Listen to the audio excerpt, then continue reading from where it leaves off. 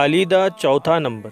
हज़रत सैदना मौला अली रदी अल्लाह तु ने इरशाद फरमाया कि जो मुझे हज़रत अबू बकर सिद्दीक और हज़रत उमर फ़ारूक आज़म रदी अल्लाह तुमा से अफजल कहे, मैं उस बहतान लगाने वाले को बहतान की हद यानी अस्से कोड़े लगाऊँगा।